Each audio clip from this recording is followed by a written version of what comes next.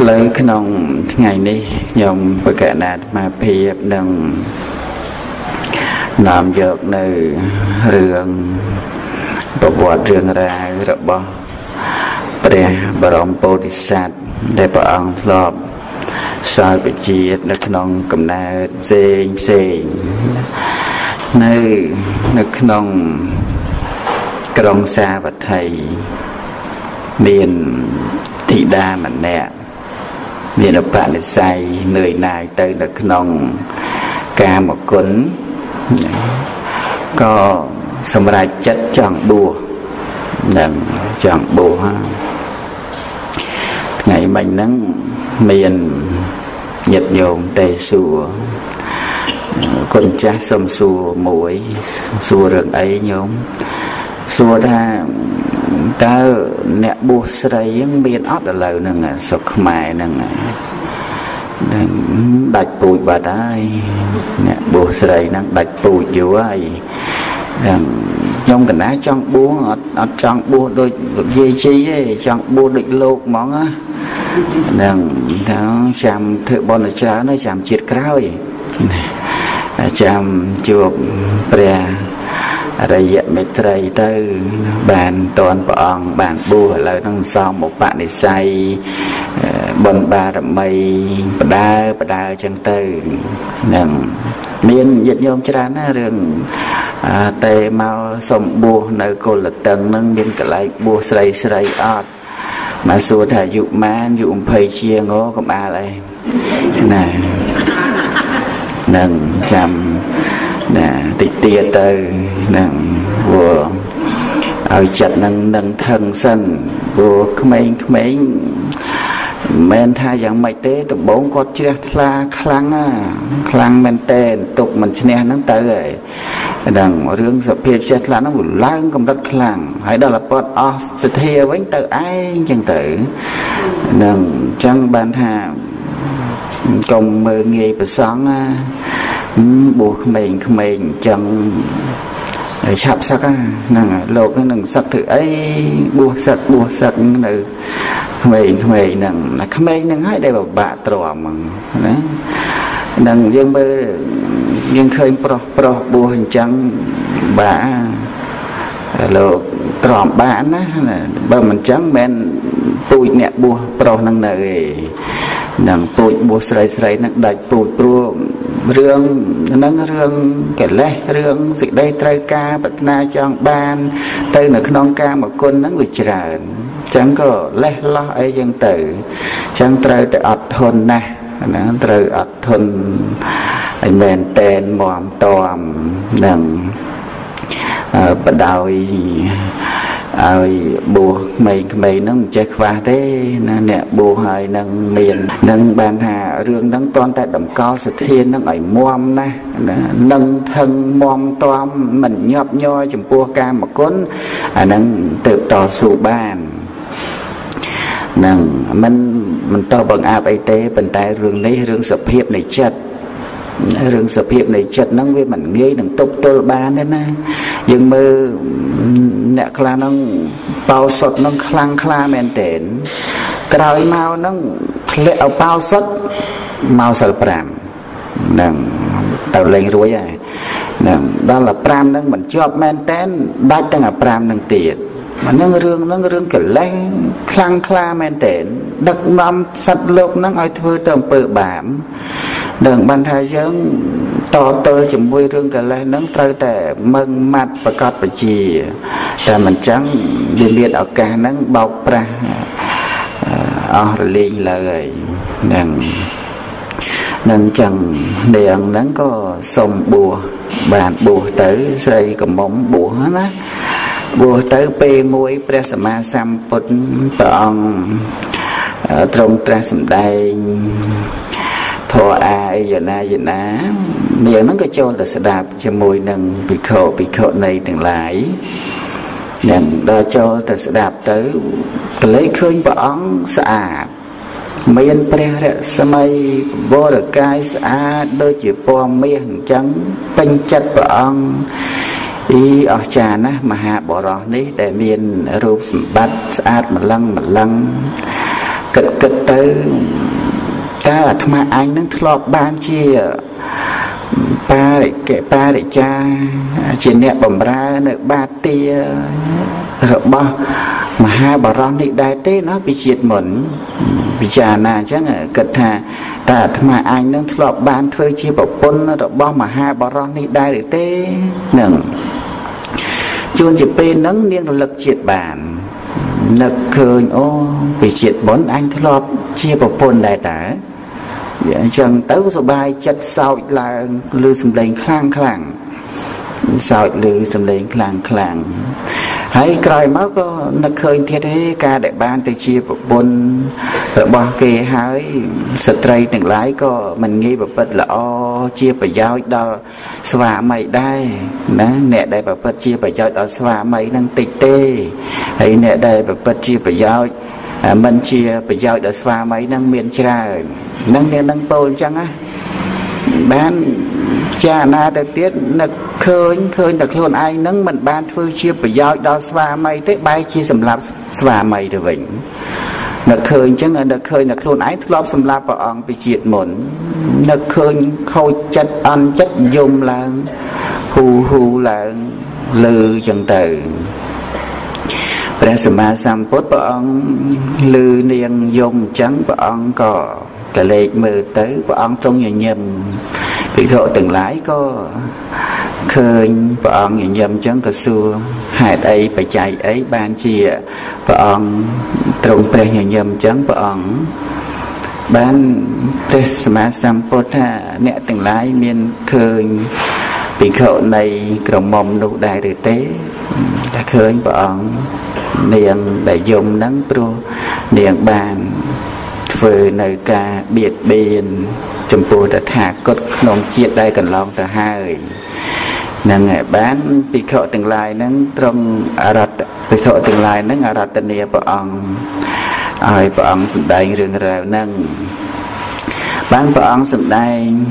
នៅក្នុង សតនបិដកខតកៈនៃកាយជាដងសម្ដែងរឿងដំរីឆាត់តន់នឹងញាតិញោមដំរីឆាត់តន់ណាតបស្ដាប់អត់ណាដំរីនឹងនៅក្នុងដែនដីនៃព្រៃហែមពៀន នៅក្នុងដែនដីនៃព្រៃហែមពៀនហ្នឹងមានដំរីប្រមាណជា8000ដំរីដំរីធំធំនៅនឹងកណ្ដាលភ្នំសុវណ្ណបាសៈបរិពតនឹងនៅក្នុងភ្នំនឹងហើយ ព្រះក្នុងការនោះព្រះបរមពោធិសត្វក៏បដិសន្ធិជាដំរីនៅក្នុងផ្ទៃរបស់ដំរីដែលជា ប្រធាននៃដំរីទាំងឡាយទាំង8000ដំរីនឹងនៅក្នុងផ្ទៃដែលកើតជាដំរីហើយនិយាយអំពីភ្នំនឹងមានភ្នំទាំងឡាយ7ជាន់ ណាភ្នំទី1ឈ្មោះចលកាលៈបរិពតណាចលកាលៈបរិពតហ្នឹងភ្នំហ្នឹងកម្ពស់មួយយោជហើយទៅភ្នំមួយជាន់ខាងក្នុងទៀតឈ្មោះថាមហាកាលៈបរិពតមានកម្ពស់2យោជឡើងមួយជាន់ចឹងទៅហើយភ្នំទី3ហ្នឹងមានឈ្មោះថា ឧតកៈបាសៈបរិពតណាឧតកៈបាសៈបរិពតមានកម្ពស់3យោជពោះពោះមួយយោជមួយយោជទៅលើចឹងណាហើយភ្នំទី4ឈ្មោះចន្តៈបាសៈបរិពតមានកម្ពស់4 4យោជដែរហើយភ្នំទី5ហ្នឹងឈ្មោះសុរិយៈបាសៈបរិពត មានកម្ពស់5យោជដែរភ្នំឡើងទៅជាន់ពោះពោះចឹងទៅភ្នំទី6ឈ្មោះមនីបាសៈបរិពតមានកម្ពស់6យោជដែរហើយភ្នំទី7ឈ្មោះសុវណ្ណបាសៈបរិពតមានកម្ពស់ហ្នឹង7យោជន៍ដែរហ្នឹងហើយភ្នំទី7ហ្នឹងពណ៌ដូចជាមាសអញ្ចឹង ពណ៌ដូចជាមាសទៅបានឈ្មោះថាសុវណ្ណបស្សបរិពតហ្នឹងហើយភ្នំហ្នឹងពណ៌ភ្លឺឡើងដូចជាព្រះអាទិត្យទើបនឹងរះអញ្ចឹងពណ៌ក្រហមដែលមានពន្លឺមកគ្របដណ្ដប់ជុំវិញក្នុងកណ្ដាលហ្នឹងគឺភ្លឺដូចជា ពេលព្រឹកអរុនទៅនឹងរះអញ្ចឹងអរុនណៅតីណានឹងទៅនឹងរះមកនឹងពលឺក្រហមដូចជាមាសយ៉ាងណា នៅនឹងកដាលភ្នំនឹងភ្លឺអញ្ចឹងភ្លឺទៅឈ្មោះថាសវណ្ណបស្សបរពតនឹងម៉េងនៅនឹងកដាលភ្នំហ្នឹងមានស្រះមួយឈ្មោះថា ឆាត់តន់ស្រះឆាត់តន់ស្រះហ្នឹងមានទំហំធំណា52យោជបដោយនឹងទៅតឹងធំសម្បើមនំក៏ធំស្រះហ្នឹងក៏ធំទៅទៀតទំហំ52យោជហើយជំរឿដែលជំរាលចុះចុះចុះទៅជ្រៅរហូតដល់កណ្ដាលហ្នឹងជំរឿកណ្ដាលហ្នឹងមានជំរឿ12យោជជ្រៅ ដើមហើយមានដើមឈូកដើមអបលផ្កាកមុតអីហ្នឹងដុះនឹងដើមចាំងកលៈនីដើមចាំងកលៈនីហ្នឹងក៏ដុះនៅបន្ទាប់ពីកដាស្រះនឹងមកដើមចាំងកលៈនីហ្នឹងដុះជុំវិញនឹងមយោជុំវិញអញ្ចឹងទៅហើយរយៈបោបន្តិចមកមានដើមបតុងមាន ដើមអបលសហ្នឹងមកយោជុំវិញយ៉ាងទៅអបលក្រហមហ្នឹងមកយោជុំវិញយ៉ាងទៅ រាក់រាក់ចឹងមកដេញឡើងមកលើចឹងទៅ ហើយមានផ្កាបតុងក្រហមហ្នឹងមកយោចឹងទៅបតុងអសហ្នឹងមកយោចឹងទៅហ្នឹងហើយមានផ្កាកមុតហើយចម្រុះទៅដោយផ្កាទាំងប្រមាណពណ៌ហ្នឹងចម្រុះគ្នានឹងមកយោទៀតចឹងទៅហ្នឹងហើយក្នុងស្រះហ្នឹងអត់មានល្អក់ទេទឹកនឹងថ្លាដូចជាកែវមณีចឹងញាតិញោម ថ្លាជាងដបទឹកសុទ្ធទេមើលទៅឃើញបាតនឹងថ្លាចែស្អាតណាស់អត់មានបន្លាអត់មានគ្រឿងសៅមងទេ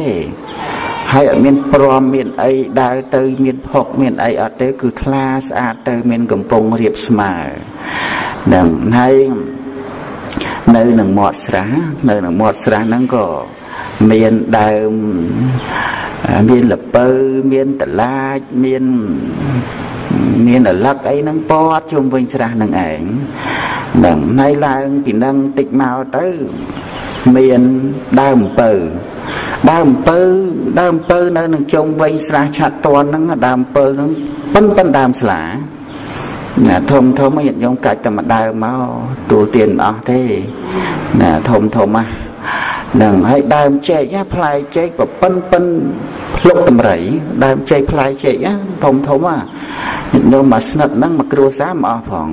ណាហើយថៃឡើងពីដឹងទៀតមកមានដើមខ្នុរដើមខ្នុរយកដឹងផ្លែប៉ុន្មានដែរដើមខ្នុរហ្នឹងផ្លែប្រប៉ិនពីងទឹកយើងហ្នឹងណាខ្នុរផ្លែមួយផ្លែហ្នឹងឆាន់មកវត្តណាដើមនឹកឃើញមើលទៅដើរទៅចំស្រះហ្នឹងមិនដឹងជាអស្ចារ្យយ៉ាងណាទេណា ព្រះបញ្ញាកោដញ្ញៈហ្នឹងលោកធ្លាប់ទៅទៅអាស្រ័យនៅនឹងស្រះឆាត់តនហ្នឹងនឹងធ្លាប់គង់នៅស្រះឆាត់តនហ្នឹង12ឆ្នាំព្រះអញ្ញាកោដញ្ញៈហ្នឹងហើយដំរីហ្នឹងមកថែរក្សាតពូជតពងមកតាំងពីណានៃមកនៅតែជ្រះថ្លាហើយសម័យនោះឯងមានព្រះបច្ចេកពុទ្ធគង់នៅក្នុងកដាលភ្នំហ្នឹង 500អង្គព្រះបច្ចេកពុទ្ធគង់នៅហ្នឹងណាហ្នឹងហើយដំរីទាំងឡាយហ្នឹងក៏ទំនុកម្រងហើយនៅនឹងក្នុងព្រៃហ្នឹងមានដើមឈើអីសម្បើមណាស់នៅនឹងទិសឦសាន នៅទិសឦសាននៃស្រះឆាត់តន់ហ្នឹងណាមានដើមជ្រៃដើមជ្រៃនឹងធំមកគ្រាន់តែ ទំហំដើមនឹងក៏ធំទំហំដើមនឹងធំកម្ពស់ពីវិកលទៅដល់ដល់តួដើមហ្នឹង7យោជកម្ពស់ហើយចាប់ពីដើមនឹងរហូតបែកជាមេឃទៅលើទៅ6យោជទៀត ណាមេឃមេឃសាខាមួយខាង6យោជមួយខាង6យោជទៅលើនឹង6យោជអញ្ចឹងទៅដើមហ្នឹងវាកម្ពស់13យោជដើមជ្រៃហ្នឹងធំ13យោជហ្នឹងកម្ពស់ហើយទំហំដើមហ្នឹង5យោជធំណាស់ដើមគាត់រាប់វាស់ដោយជុំវិញហ្នឹងដើមជ្រៃហ្នឹង5យោជ ហ្នឹងហើយមានពួរពួរវត្តជ្រៃហ្នឹងដែលធ្លាក់សំយងមកហ្នឹងតាមដើមជ្រៃហ្នឹង8000ណា8000ពួរចុះមកហើយស្រក់ទឹកតក់តក់មកត្រជាក់ល្អណាស់ នឹងហើយខ្ពស់ស្រឡះដូចជាមហាមេឃអញ្ចឹងដើមឈើនឹងលុបនៅសឹងថាលុបភ្នំបានណាព្រោះភ្នំកម្ពស់តែ7យោជឯដើមឈើនឹងកម្ពស់ដល់តែ13យោជនឹងលុបភ្នំដើមឈើនឹងជាដើមឈើដែលធំណាសាខាពពួកដំរី8000អាចជ្រកនៅក្រោមនឹងបានណានឹងហើយនៅខាងទិសបច្ចឹម ទិសបច្ចឹមនៃស្រះឆាត់តណានៅទិសខាងលិចហ្នឹងមានគុហាមួយឈ្មោះថាកញ្ចនៈគុហាគុហាហ្នឹងដូចមាសអញ្ចឹងកញ្ចនៈហ្នឹងប្រែតែមាសគូហៀដូចមាសហ្នឹងអាចអាស្រ័យនៅ សម្រាប់ដំរីទាំង8000ដំរីបាន ខែភ្លៀងខែអីហ្នឹងអាចទៅស្នាក់នៅកន្លែងហ្នឹងបាននឹងភាពអស្ចារ្យនៅនឹងភ្នំសត្តបណ្ណៈណា នៅក្នុងសវណ្ណបស្សបរពតនៅភ្នំនៅក្នុងដែនដីនៃព្រៃហែមពៀននឹងញាតិញោមសម័យឃើញអត់ចឹងទៀបរាប់មកណាឃើញស្អាតណាណា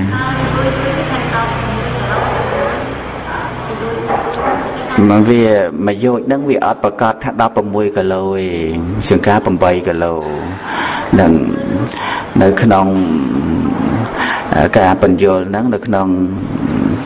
ការបញ្យល់ហ្នឹងគេថាមួយយោជហ្នឹងមិនប្រកាសថា16គីឡូទេណាវាអាច8គីឡូអីចឹងទៅនឹងចឹងប៉ុន្តែទោះបី8គីឡូក៏វាខ្ពស់ដែរណា8គីឡូហ្នឹងខ្ពស់មែនទេណា8 13ដងគិតមើលច្រើនណាស់ នឹងរាប់10គីឡូហើយក្នុងការនោះព្រះបរមពុរិស័ទក៏ប្រសូតមកស្អាតណាស់សស្គុះណាដំរីសពេញវ័យដំរីនឹងពេញវ័យកម្ពស់88ហាត់ដល់ទៅពេញធំមែនតែនកម្ពស់120ហាត់ តម្រៃពីកតុយរហូតដល់ក្បាលហ្នឹងក៏ប្រវែង120ហាត់ដែរគិតមើលប្រមាណម៉ែត្រ60ម៉ែត្រខ្ពស់តម្រៃគ្រាន់តែប្រម៉ោយប្រម៉ោយនឹងសស្អាតដូចជាភួងភួងផ្កាម្លេះដូចជាកំដាប់នៃនៃប្រាក់អញ្ចឹងណាកំដាប់មាត់ប្រាក់អញ្ចឹងគឺស្អាតណាស់ប្រម៉ោយតម្រៃនឹងប្រវែងប្រម៉ោយតម្រៃនឹង30 30ហាត់ 5ដល់10ម៉ែត្រគាត់តែប្រម៉ោយតម្រៃនឹងនឹងនិយាយអំពីផ្លុកវិញណាផ្លុកហ្នឹងក៏វែងផ្លុកហ្នឹងណាច្រឡំប្រម៉ោយហ្នឹងប្រវែង58ហាត់ប្រម៉ោយ58ហាត់វែងណានឹងជាង25ម៉ែត្រហ្នឹង 26 27 28អញ្ចឹងទៅណាវែងណាប្រម៉ោយហ្នឹងវែងហើយភ្លុកណាភ្លុកវែងណាណា10បាទភ្លុកហ្នឹង30ហាត់ភ្លុកណាភ្លុកភ្លុកហ្នឹងមានពណ៌6ពណ៌ទៅបានឈ្មោះថាឆាត់តនហ្នឹងព្រោះមានពណ៌ហ្នឹងទាំង6ខៀវលឿងក្រហមសហងស្បាតហ្នឹងហើយនឹងភ្លេង6ពណ៌ហ្នឹងវែងចឹងទៅ30ហាត់ហ្នឹងហើយទៅតឹងវល់វាស់ជុំវិញហ្នឹង15ហាត់ទៀតហ្នឹងហីធំណាស់ធំមែនតើនឹងញាតិញោមសម័យមើលធំបណ្ណាទៅព្រះបរមពោធិសត្វណាហើយកម្លាំងខ្លាំងក្លាណាស់ស្អាតនឹងទៅទៀត នឹងហ្នឹងភិនភាកមកមើលទៅរឿងហ្នឹងក៏ជារឿងបនហើយតម្រៃក្នុងបណ្ដាតម្រៃទាំង8000ហ្នឹងមានពណ៌សតែមួយនឹងឯងស្អាតសស្អាតនឹងហើយមានមហេសីហ្នឹង2នាក់នឹងតម្រៃមានមហេសីដែរឈ្មោះនាងចលសភ័តទា1មហាសភ័តទា1 នៅនៅក្នុងដែនដីនៃព្រៃហែមពៀននឹងរស់នៅទីនឹងឯងទំនុកបំរុងព្រះបច្ចេកពុទ្ធទាំង500អង្គនឹងព្រះបច្ចេកពុទ្ធហ្នឹងក៏គង់អាស្រ័យនៅទីនោះតម្រៃជ្រះថ្លាណាស់តពូជតពងមកនៅតែជ្រះថ្លាចំពោះប្រសាមណៈចំពោះតបោះចំពោះព្រះបច្ចេកពុទ្ធនឹងតតមកអញ្ចឹងនឹងពេលមួយនោះ នឹងពួកដំរីទាំងឡាយហ្នឹងគេមកប្រាប់ថាផ្ការាំងភ្នំហ្នឹងបានរីកហើយដើមរាំងភ្នំនឹងបានរីកផ្កាហើយអញ្ចឹងទៅព្រះបរមពុទ្ធសាសក៏នាំបរិវារទៅលេងកីឡានៅនឹងរាំងភ្នំនឹងទៅព្រះអង្គយកទៅជលជលដើមរាំងហ្នឹងឲ្យវាធ្លាក់ផ្កាមកធ្លាក់លំអងកេសរមកណា រួយទៅលើពួកបរិវារហ្នឹងនឹងដល់តែជលទៅវាធ្លាក់មកមែននាងនាងចលសភ័តទាទៅអង្គុយទៅទៅឈរខាងលើខ្យល់ដល់តែធ្លាក់មកវាមិនធ្លាក់លំអងកេសរណាវាធ្លាក់សម្ោចមកណាវាសិតតែសម្ោចសិតតែសក្រង ក្រងមកហើយតាក់តាំងពីកតិចកទីឈើងាប់មែកងាប់ហ្នឹងធ្លាក់មកស្លឹកចាស់ចាស់ហ្នឹងលើនាងនឹងឯងហ្នឹងនាងនឹងអន់ចិត្តហើយធ្លាក់លំអងកេសរផ្កាស្លឹកឈើស្រស់ស្រស់ខ្ចីខ្ចីហ្នឹងក៏ធ្លាក់ទៅលើនាងមហាសភ័តទីចារឿងចំណែនណាណារឿងទៅទៀតតម្រៃហើយនៅចំណែនទៀតណារឿងនេះរឿងការចំណែន ដល់ដល់តែចឹងទៅអន់ចិត្តពេលណាមួយយើងនឹងធ្វើរឿងដែលឲ្យសមនឹងព្រះអង្គធ្វើដាក់ខ្លួនចឹងគុំគួនណាចាប់ដើមគុំគួនណាហ្នឹងហើយក៏ហីទៅថ្ងៃក្រោយមកទៀតទៅងូតទឹកព្រះអង្គចុះទៅងូតទឹកចឹងទៅហើយអត់ងូតអីខ្លួនឯងមានដំរីហ្នឹងអ្នកបាញ់ទឹកពីរដំរីតូចតូចបាញ់ទឹកដូចជា បាញ់ភ្នំកៃឡាស់ចឹងខ្ពស់ណាហើយព្រះបរមពុទ្ធសាសន៍នោះវាធំខ្ពស់ដល់អញ្ចឹងទៅបាញ់សឹងតែមិនដល់នឹងងូតព្រះអង្គហើយស្រួលបួលអញ្ចឹងទៅ បានឡើងមកលើឲ្យឲ្យនាងចលសភ័តទានិងមហាសភ័តទានឹងចុះទៅម្ដងចុះទៅងូតទឹកហើយគេយកផ្កាយកអីមកតាក់ តែងព្រះបរមពោធិសត្វនឹងដូចជាគេតាក់តែងនៅចេតិយប្រាក់អញ្ចឹងយើងមើលចេតិយប្រាក់នឹងខ្ពស់ល្អគេតាក់តែងមកយ៉ាងណាដូចជាគេតាក់តែងចេតិយប្រាក់អញ្ចឹងមឹងធំដូចជាកូនភ្នំអញ្ចឹងណាណាគិតមើលកម្ពស់120ហាត់ហើយ60ម៉ែត្រទៅលើកម្ពស់ប៉ុណ្ណាទៅហើយតាក់តែងដូចជាយកផ្កាមកតាក់តែងចេតិយប្រាក់អញ្ចឹង នឹងហើយបាននាងចលសភ័តទាមហាសភ័តទានឹងងូតទឹកហើយបានពពួកបរិវារទាំង8000ហ្នឹងចុះទៅងូតទឹកម្ដងតាមដាប់ដោយអញ្ចឹងអត់ទាំងអស់គ្នាទេទៅងូតទឹកទៅហើយឡើងមកក្នុងការនោះមានតម្រៃមួយគឺបានផ្កាឈូកពីណាមកទេ8ធ្នាប់ ណាផ្កាផ្កាឈូកហ្នឹង8ស្រទាប់មានផ្កាតែ8ស្រទាប់ឯងធំផ្កាឈូកហ្នឹងធំណាស់នឹងយកទៅថ្វាយ ដល់ព្រះបរមពុរិស័ទព្រះបរមពុរិស័ទហ្នឹងក៏រយលំអងកេសរនឹងលើខ្លួនហើយបានបកលយកទៅឲ្យនាងមហាសភ័តទានឹងឲ្យនាងមហាសភ័តទាទៅ នាងចលសភ័តទានេះអន់ចិត្តទៀតណាដែលគេមិនឲ្យអញឲ្យទៅនាងមហាសភ័តទាដែលគេស្រឡាញ់គេប្រោសប្រានត្រង់អាត្មាអញហ្នឹងគេមិននឹកនាទេអន់ចិត្តខឹងចិត្តមែនទែន នឹងពេលមួយហ្នឹងព្រះបរមពោធិសត្វក៏ទៅទំនុកបំរុងព្រះបច្ចេកពុទ្ធទំនុកម្ដងមានតាំងពីដលងមានតាំងពីអីនឹងមើមឈើផ្លែឈើនឹងលាយទៅដោយទឹកខ្មុំថ្វាយព្រះបច្ចេកពុទ្ធទាំង500អង្គចំណែកឯនាងចលសផតទាហ្នឹងគេបានផ្លែផល្លាផលពីណាមកទេក៏យកទៅថ្វាយព្រះបច្ចេកពុទ្ធដែរ យកទៅថ្វាយព្រះបច្ចេកពុទ្ធទៅតាំងសេចក្តីប្រាថ្នាថាសូមឲ្យខ្ញុំម្ចាស់នេះជាតិក្រោយទៅសូមឲ្យទៅកើតជាកូនព្រះរាជាព្រះបាទមត្តរាជនៅក្នុងដែនដីមត្តរដ្ឋនឹងនៅក្នុងសាកលៈនគរហើយសូមឲ្យជាអកមហេសីនៃពរាជានៅក្នុងដែនពារាណសី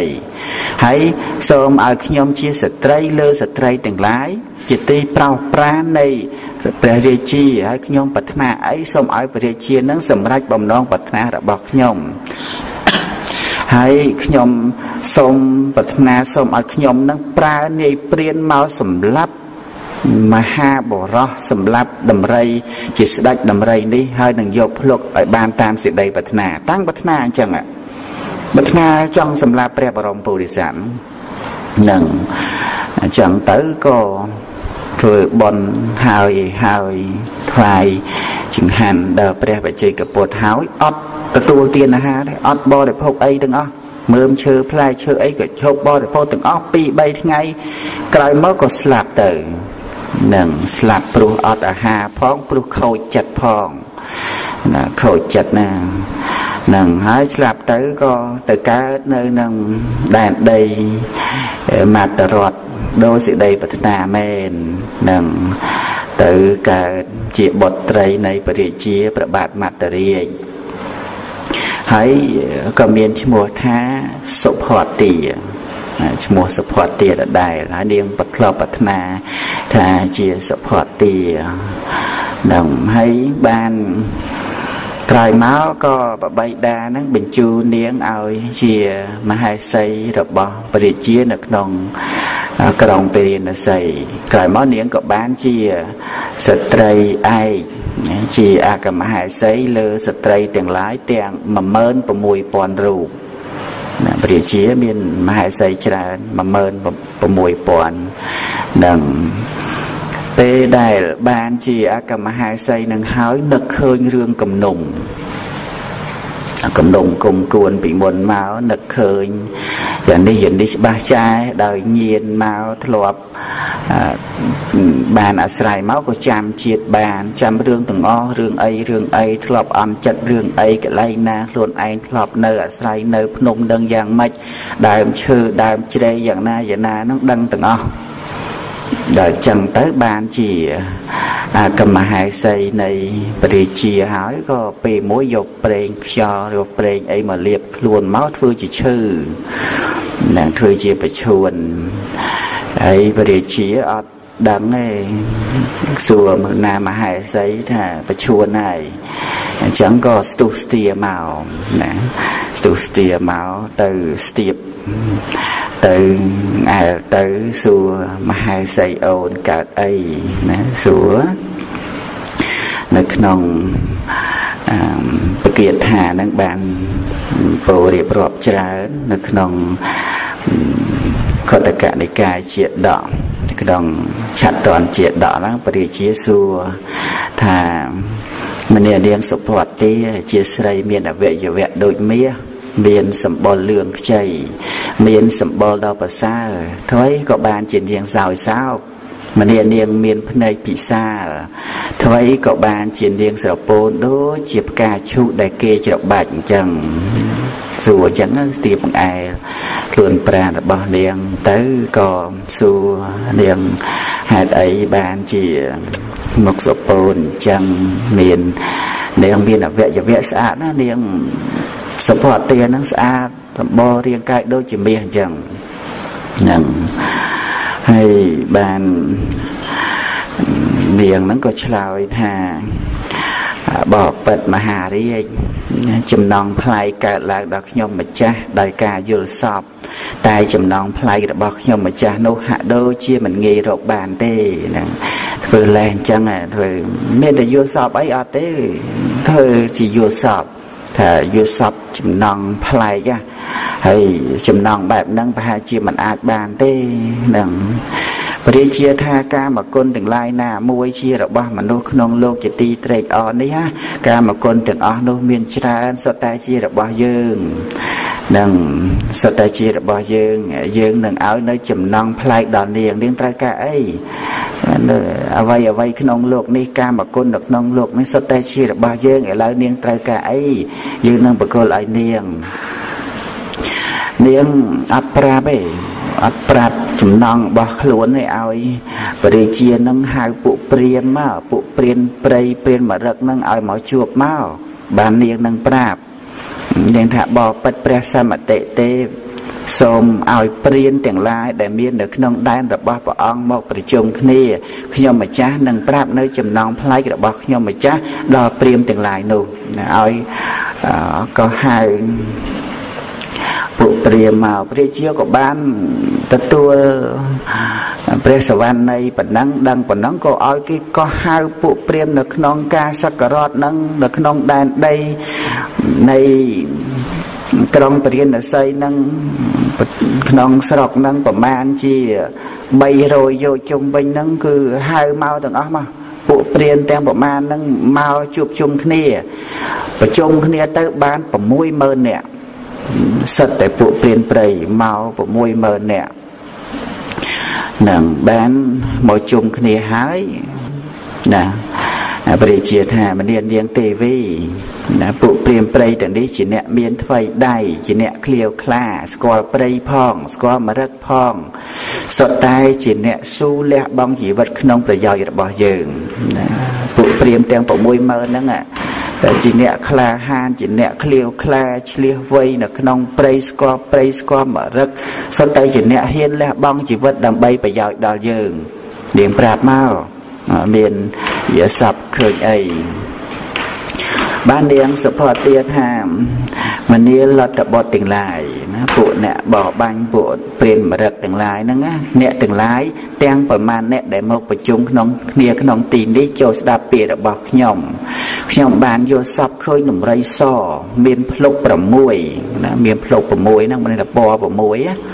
ហ្នឹងខ្ញុំត្រូវការដោយភ្លុកដំរីសនោះជីវិតរបស់ខ្ញុំនឹងមិនមានព្រោះការមិនបានភ្លុកនោះថា បើសិនបើយើងមិនបានភ្លុកនឹងទេយើងប្រកាសជាសោយទីវង្គតហើយសោយវិឡាឡៃហើយអញ្ចឹងពួកអ្នកទាំងឡាយនឹងចូលទៅយកភ្លុករំបីដំរីសឲ្យខ្ញុំនឹង បានពួកលទ្ធបទទាំងឡាយថាបៃតានិងជីតារបស់ទូបង្គំជាខ្ញុំមិនដែលឃើញមិនដែលឮនៅដំរីមានភ្លុក6ដែលបរិជ្ជបុត្រីបានត្រង់ព្រះសបិនឃើញនោះទេ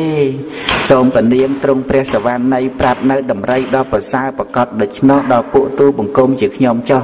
តាំងពីដូនតាមកទូបង្គំមិនដែលឮថាមានដំរីស ភ្លុកពណ៌6ហ្នឹងទេទូបង្គំមិនដែលឮទេអញ្ចឹងសូមពនាងនឹងប្រាប់មកដំរីនឹងយ៉ាងម៉េចហើយបានតទៀតថាបណ្ដាទិសទាំង10នេះគឺទិសធំ4ទិសតូច4ទិសខាងលើនិងទិសខាងក្រោមតើបរិយបុត្រីទ្រង់ព្រះសបិនឃើញដំរីដ៏ប្រសើរមានភ្លុក6នោះស្ថិតនៅក្នុងទិសណាតែដំរីនៅទិសឯណានឹងបាន នាងនឹងប្រមាលមើលទៅថាពួកព្រានទាំង60000អ្នកហ្នឹងតើអ្នកណាដែលខ្លាំងជាងគេ មើលមើលទៅឃើញព្រានម្នាក់ហ្នឹងឈ្មោះសោនុត្តរៈណាសោនុត្តរៈហ្នឹងមានធំណាមានធំហើយជើងបាតជើងហ្នឹងកបាក់កបាក់បាតជើងហើយស្មងវិញហ្នឹងកពីកពកកពីកពកមិនស្អាតទេហើយឆ្អឹងចំនីហ្នឹងប៉ោង ណាឆ្អឹងចំនីប៉ោងហើយពុកមាត់ហ្នឹងសមោមណាពុកមាត់ក្រាស់ហើយពុកចង្ការហ្នឹងពណ៌ក្រហមទៀតហើយភ្នែកហ្នឹងពណ៌លឿងនឹងមើលទៅមានធំខ្ពស់អញ្ចឹងនឹងរាងកាយគួរអាក្រក់ជាងគេអញ្ចឹងនាងនឹងគិតថាមានតែព្រាននឹងហើយដែលអាចទៅបានអញ្ចឹងក៏ថា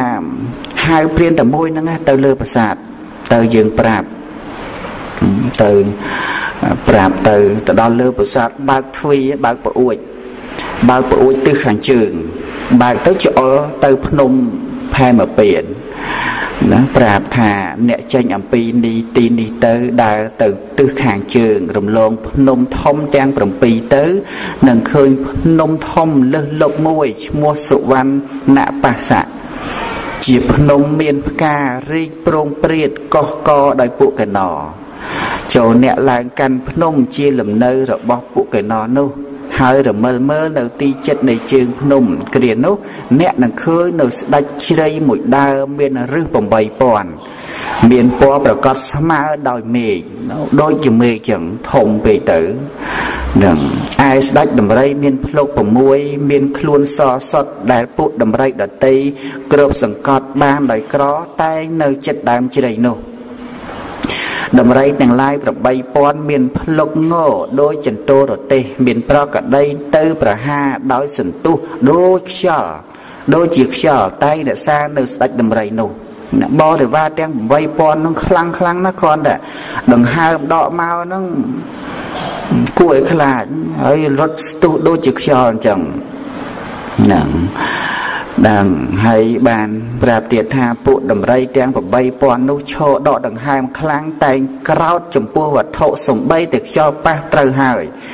មួយទៀតបើវាឃើញមនុស្សក្នុងទីនោះហើយក៏ធ្វើឲ្យទៅជាផេះសំបីតែធូលីនិងផេះរបស់មនុស្សនោះក៏មិនឲ្យមានឡើយជន់កំតិចតែម្ដងអ្នកឃើញមនុស្សមិនបានទេគ្រាន់តែខ្យល់ប៉ះហ្នឹងក៏ខឹងដែរអីក៏ទូស័កសម្បើម៉េះហ្នឹង បានព្រាននឹងគ្រាន់តែលឺអញ្ចឹងលែងចង់ទៅនេះដល់ម្លឹងពេកគ្រាន់តែ ដំរីដែលជាស្ដេចនឹងអស់ចាដល់ប៉ុណ្ណឹងហើយ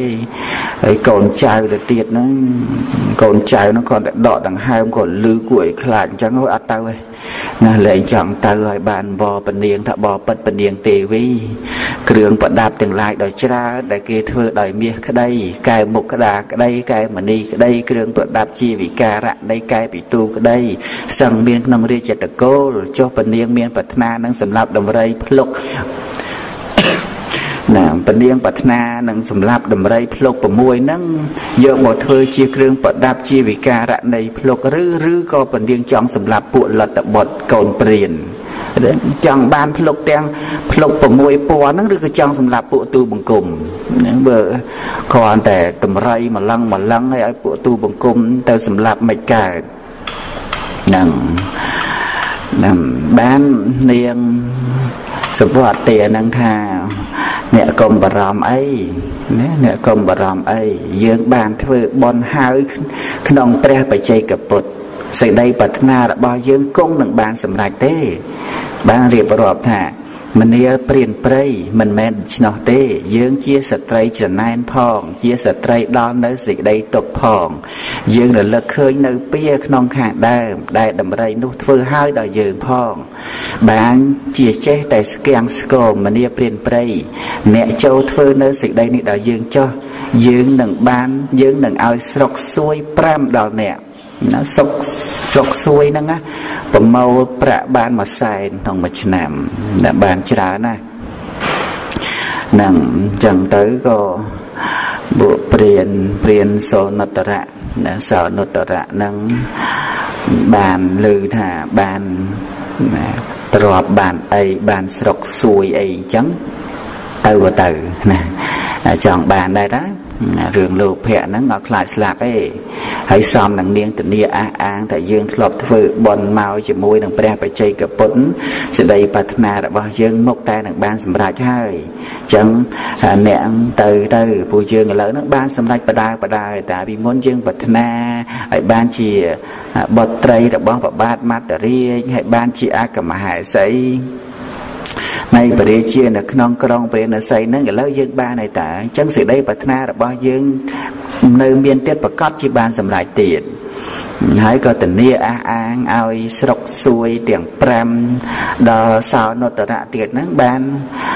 សោនុត្តរៈហ្នឹងក៏ព្រមថាទៅហើយបានថាដំរីឆាត់តន់តែងនៅត្រង់ទីណា តែងចូលទៅឈរត្រង់ទីណា ផ្លូវដូចម្ដេចដែលដំរីឆាត់ តតន់ចុះទៅងូតទឹក ស្ដេចដំរីឆាត់តន់នោះងូតទឹកតើដូចម្ដេចយើងខ្ញុំធ្វើម្ដេចនឹងដឹងដំណើរនៃដំរីនោះបានឲ្យពនាងប្រាប់ឲ្យដំរីនឹងឈរទៅណាអង្គុយទៅណាចុះងូតទឹកយ៉ាងម៉េចហើយយ៉ាងម៉េចនឹងប្រាប់មកនឹងនឹងបាននាងប្រាប់ណារៀបរាប់អំ ពីការដែលព្រះបរមពុរិស័ទព្រះអង្គឈរនៅទីណាចម្ដិលខ្លួននៅទីណានឹងទៅជ្រកក្រោមដើមជ្រៃនឹងព្រមួយលើទៅដោយពួកបរិវារនឹងទទួលនៅខ្យល់ទទួលនៅអីភ្នំនឹងធំធំមែនទែននឹងក្នុងដែនដីនៃព្រៃហែមពៀននឹងមិនងាយនឹងមនុស្សនឹងឡើងទៅដល់ទេនឹងបាន នាងនឹងរៀបរាប់ទៅប៉ុន្តែចាំស្ដាប់ថ្ងៃស្អែកណាថ្ងៃស្អែកនាងប្រាប់ហើយណាណាអញ្ចឹងថ្ងៃហ្នឹងក៏ប៉ុណ្ណឹងទៅណាព្រោះពេលវេលាដល់ហើយហ្នឹងហើយរឿងដំរីឆាប់តន់ហ្នឹងគឺ តិចទៀតវគ្គកំសត់ដែរណាអញ្ចឹងគឺណាតនកំសត់ទេស្អែកនឹងដឹងរឿងកំសត់ហើយនឹងចឹងសូមញាតិញោមទាំងអស់ជាថ្លានឹងបុណ្យបារមីរបស់ព្រះបរមពុទ្ធិស័តបើសូមអនុមោទនាទុក្ខបត្តាចនិនតងខា ភយាមបត្តាចនិមភយាសោកាមបានតាចនីហោនតសាមពេបេបាអ្នកណៅសាមទាំងឡាយទាំងពួងដែលដល់ហើយនៅសេចក្តីទុកសូមឲ្យជាសាន់ដែលដល់ហើយនៅ ភ័យសូមឲ្យជាសាទបាត់ភ័យទៅដែលដល់ហើយនៅសេចក្តីសោកជាសាទបាត់សេចក្តីសោកទៅសូមអនុមោទនីនឹងឥឡូវហ្នឹងចូលហ្មងទៅណារឿងដំរីឆាត់តនហ្នឹងណាមិនសមមិនដល់ណាហើយអត់ចាំអីទេហ៎ ហ្នឹងហើយដល់នាងសុផតទាហ្នឹងជួបជាមួយនឹងសោនុត្តរៈព្រានណាព្រានឈ្មោះសោនុត្តរៈព្រានហ្នឹងមុខមាត់យ៉ាងម៉េចទៅយត់ញោមចាំដែរមុខនឹងកាចាណាជើងវិញកបាក់កបាក់ បាក់ជើងណាជើងធំធំខ្មងស្មងជើងនឹងកពីកពកអត់ស្អាតទេក្បាលជង្គង់ធំនឹងហើយឆ្អឹងចម្ដីប៉ោងពុកមាត់ក្រាស់ណាពុកមាត់សំមុំណាពុកចង្ការហ្នឹងក៏ហមភ្នែកលឿងណាទៅជួបជាមួយនឹងពនាងទេវីដែលជាអកមហេសីនៃព្រះចៅពារាណសី និងពនាងបានរៀបរាប់អំពីកន្លែងនៅរបស់ព្រះបរមពោធិសត្វ កន្លែងណាកន្លែងណាចឹងទៅនិយាយអំពីពពួកបរិវារទាំង8000ហ្នឹងក៏អង្គអាចក្លាហានកាចសម្លាប់សត្រូវសម្លាប់មនុស្សហ្នឹងមិនឲ្យសល់ទលីទេនឹងព្រានសនន្តដយើងធ្លាប់លើសនន្តដតាមពិតសោនុត្តរៈ ណាសោនុត្តរៈណាព្រានហ្នឹងគ្រាន់តែលឺអញ្ចឹងលែងចង់ទៅខ្លាចស្លាប់ដែរប៉ុន្តែពនាងថាយើងយើងប៉ងប្រាថ្នាមកបានធ្វើបន់ហើយ ជាមួយនឹងព្រះបច្ចេកពុទ្ធអញ្ចឹងមโนរតរបស់យើងគង់នឹងបានសម្រេចទេ នឹងប្រសិនបើអ្នកទៅអាចនាំយកនៅភ្លុកនឹងមកបានយើងនឹងឲ្យនៅស្រុកសួយទាំង5អាចប្រមូលប្រាក់បានរហូតដល់ទៅមួយសែនក្នុងមួយឆ្នាំទៀតអញ្ចឹងសោនុត្តរៈលឺអញ្ចឹងក៏បានព្រមទៅនឹងព្រមទាំងទៅបាន ពលាងសោនុត្តរៈនឹងថាឲ្យរៀបរាប់មកដំរីនឹងនៅទីណាដំរីឆាត់តននោះតែងនៅត្រង់ទីណាតែងចូលទៅឈរត្រង់កន្លែងណាផ្លូវដូចម្ដេចដែលដំរីឆាត់តននោះចុះទៅងូតទឹកស្ដេចដំរីឆាត់តននោះងូតទឹកតែដូចម្ដេចយើងខ្ញុំធ្វើម្ដេចនឹងដឹងដំណើរនៃដំរីនោះបាន នឹងសួរពីព្រះបរមពុទ្ធសាសចុះទៅងូតទឹកទាំងយ៉ាងណាមកសម្ដិលខ្លួនកន្លែងណាដោយដែលបានរៀបរាប់ពីម្សិលមិញអញ្ចឹង នឹងពពួកបរិវារនឹងមកតែងខ្លួនយកផ្កាមកតាក់តែងព្រះបរមពុទ្ធសាសដោយគេយកកម្រងផ្កាទៅ តែងឲ្យនៅចេតដីប្រាក់អញ្ចឹងស្អាតពណ៌ដូចជាពណ៌ប្រាក់ណាភ្លឺស្អាតថែមទាំងរស្មីចេញអំពីភ្លុកទៅទៀតនោះភ្លុកហ្នឹងប្រវែង30ហត្ថនឹង វែងហើយមានរស្មី6ពណ៌ចេញមកស្អាតណានឹងហើយសំនឹងខ្លួនប្រានឹងពណ៌សទៅទៀតទៅនឹងរឹតតែស្អាតទៅទៀតនឹងបាននាងសនន្ទនាងសុផតទានឹងក៏បានប្រាប់ទៅថាត្រង់ទីកន្លែងដែលដំរីនោះនៅ មានស្រះបោខណីនៅចិត្ត ជាស្រះគួររីករាយផង មានកំពង់ទឹកដ៏ល្អផង មានទឹកដ៏ច្រើនផង មានផ្កាកមុតផ្កាអបលផ្កាឈូកមានផ្ការីកស្គុះស្គាយផងដេកដាស់ដោយពួកភៈភៈមរៈជាតិផងស្ដេចដំរីដ៏ប្រសើរនោះតែងងូតទឹកក្នុងស្រះនោះឯងនឹងនឹងនៅក្នុងស្រះហ្នឹងដូចតែរៀបរាប់អញ្ចឹងមានផ្កាឈូកផ្កាបល មានរៃទឹកណារៃទឹកហ្នឹងស្លឹកហ្នឹងពណ៌ចម្រុះទៅទៀតមានស្រូវសលៃដុះនៅនឹងឯមាត់ស្រះនឹងទៅទៀតមានលពៅមានតឡាចមានឃ្លោកមានដើមអំពៅហ្នឹងក៏ធំធំដើមអំពៅប៉ុណ្ណាញាតិញោមដើមអំពៅប៉ិនដើមដើម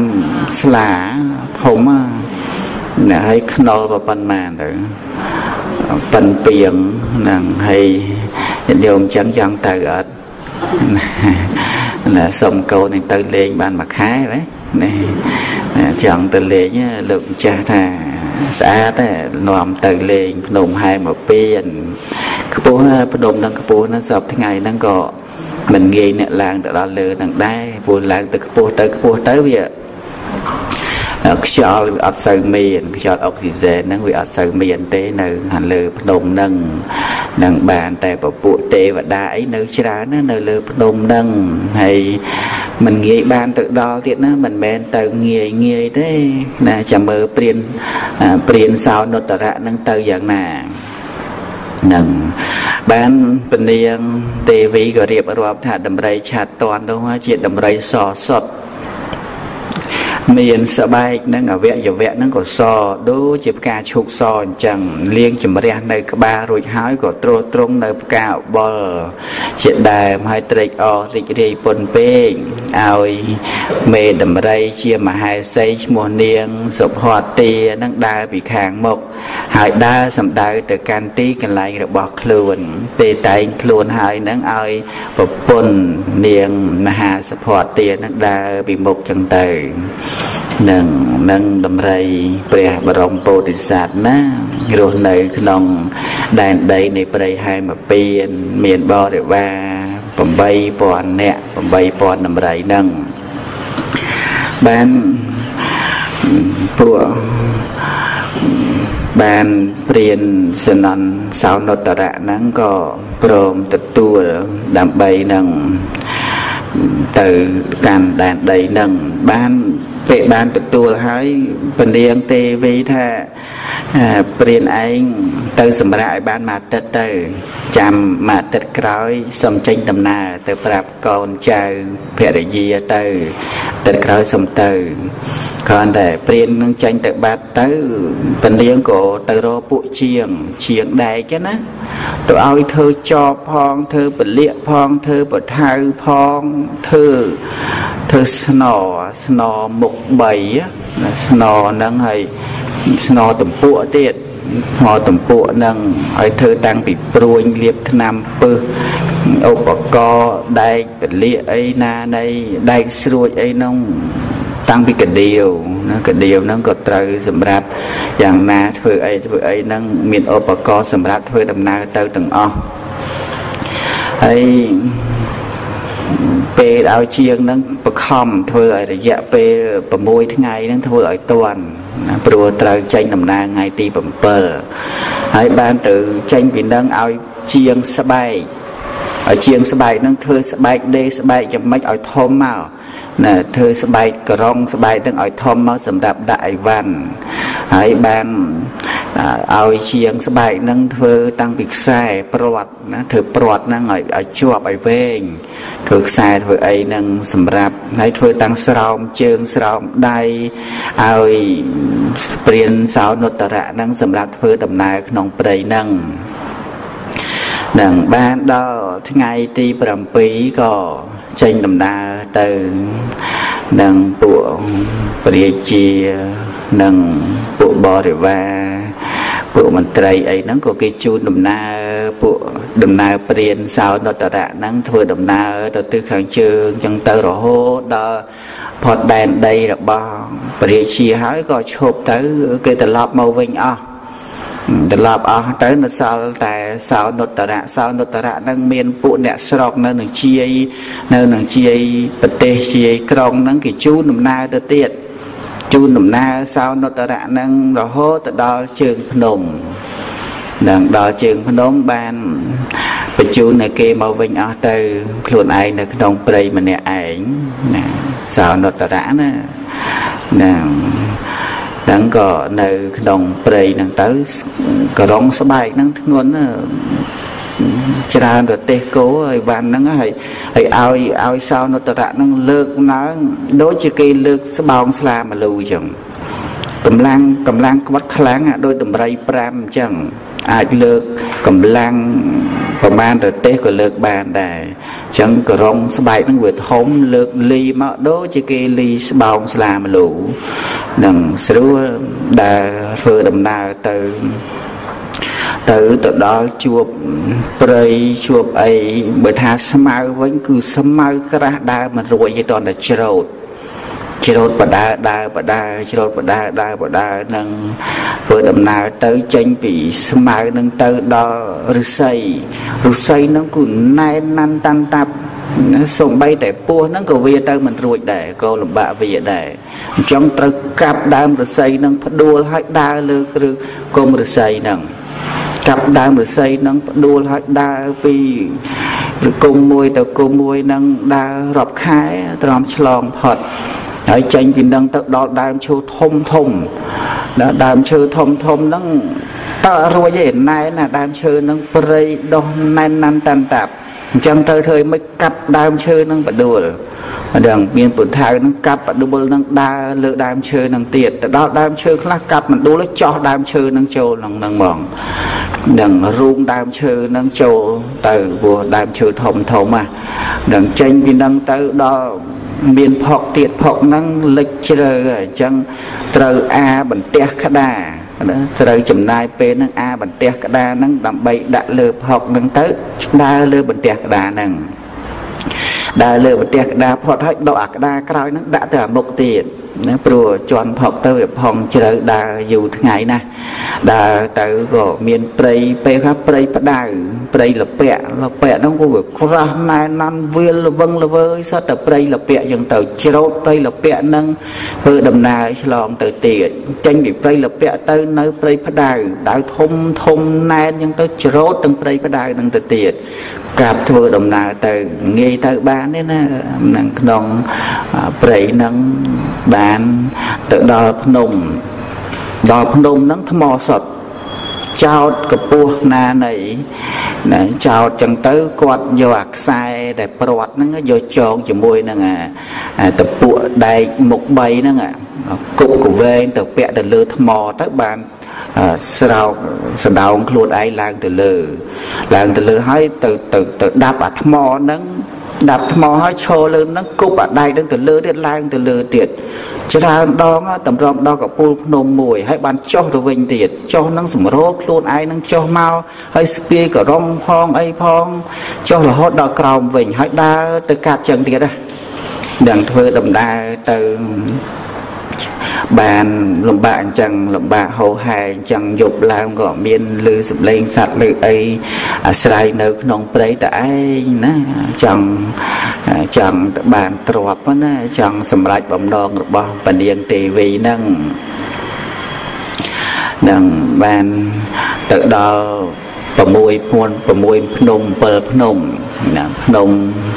ណាចូលលកាលៈបរិពតហ្នឹងភ្នំហ្នឹងកម្ពស់មួយយោជដល់មហាកាលៈបរពតកម្ពស់2យោជហ្នឹងសឡើងភ្នំហើយដល់ឡើងភ្នំរហូតហ្នឹងចុះអញ្ចឹងទៅហើយចេញពីភ្នំហ្នឹងឧតកៈបាសៈបរពតចេញពីឧតកៈបាសៈបរពតឡើងទៅដល់ភ្នំឡើងទៅដល់ភ្នំចន្ទៈបាសៈបរិពតចេញពីចន្ទៈបាសៈបរិពតចូលដល់សុវណ្ណចូលដល់សុរិយៈបាសៈបរិពត ចេញពីសុរិយៈបាសៈបរិពតរហូតដល់មនីមនីបាសៈបរិពតឡើងរហូតទៅដល់ភ្នំសុវណ្ណបាសៈបរិពតឡើងទៅដល់កពូភ្នំនឹងទៅដល់នឹងបាននឹងបានព្រះសម្មាសម្ពុទ្ធព្រះអង្គសម្ដែងអំពីដំណើររបស់ព្រានហ្នឹងណា ព្រះអង្គសម្ដែងថាពៀនព្រៃនោះបានរៀនពាក្យក្នុងទីនោះហើយក៏ចាប់យកនៅបំពង់ព្រួយនឹងធ្នូដើររំលងភ្នំទាំង7ក៏ពិចារណាមើលទៅឃើញភ្នំធំខ្ពស់មួយឈ្មោះសុវណ្ណបាសៈ ពេលព្រៃបានឡើងទៅកាន់ភ្នំជាកន្លែងនៅនៃពួកកេណក៏រមិលមើលនៅទីចិត្តនៃជើងភ្នំ បានឃើញស្ដេចជ្រៃធំមួយដើមដាច់ជ្រៃធំមួយដើម មានសម្បល់ប្រកបស្មើដោយមេឃដែលមានរឹស8000ចិត្តជើងភ្នំនោះ បានឃើញដំរីមានភ្លុក6ជាដំរីសសុទ្ធដែលពួកដំរីដតីគ្របសង្កត់បានដោយក្រ នៅក្រោមដើមជ្រៃនោះ ពួកដំរីទាំង8000មានភ្លុកដូចជាចន្ទុលរត់បានមានប្រកដីទៅប្រហាពួកដំរីជាបច្ចាមិត្តដោយស្ទុះដ៏លឿនដូចជាខ្យល់តែងរក្សានៅស្ដេចដំរីនោះឡើងទៅដល់កពូភ្នំហ្នឹងក៏លេចមើលទៅក្រោមក៏លេចទៅដល់កពូភ្នំក៏លេចទៅឃើញដើមជ្រៃធំណាស្រីនឹងធំហ្នឹងកពស់ម៉ាញាតិញោមចាំដែរកម្ពស់13យោជ 13យោជខ្ពស់រាប់រយរាប់រយគីឡូខ្ពស់ខ្ពស់មែនទែនណាខ្ពស់នឹងមួយយោជគិតតែ8គីឡូទៅនឹងនឹងគឺខ្ពស់ណាហើយមេឃនឹងក៏វែងវែង6យោជទៅខាងឆ្វេងខាងស្ដាំក៏6យោជចឹងទៅហើយមើលទៅក្រោមទៅឃើញដំរីឃើញដំរីព្រះបរមពុរិស័ទ នឹងមានបរិវារមានអីក៏លេចមើលសពគ្រប់ទាំងអស់ណាដំរីនឹងយ៉ាងម៉េចអីយ៉ាងម៉េចមានបរិវារអីយ៉ាងណាយ៉ាងណានឹងឃើញឃើញច្រើនគ្រប់រឿងចឹងទៅ ហើយព្រះអង្គសម្ដែងទៀតអំពីព្រាននឹងដែលបានឃើញនៅស្រះបោកណីនៅចិត្តដើមជ្រៃនោះ គួរជាទីរីករាយមានកំពង់ទឹកដ៏ល្អផង មានទឹកដ៏ច្រើនផង មានផ្កាកមុតអបលនិងឈូករីកស្គូស្គាយផងដេកដាស់ដោយពួកភវរៈជាតិផង ជាទីសម្រាប់ងូតរបស់ស្ដេចដំរីដ៏ប្រសើរនោះ បានឃើញនៅការដើរទៅនិងការឈរនៅនៃដំរីដ៏ប្រសើរផងឃើញផ្លូវរបស់ដំរីដ៏ប្រសើរនោះទៅងូតទឹកផងព្រានព្រៃជាអនរិជនអ្នកប្រកបដោយកិច្ចការស្រេចដោយការលុះក្នុងអំណាចនៃចិត្តក៏បានជីករណ្ដៅ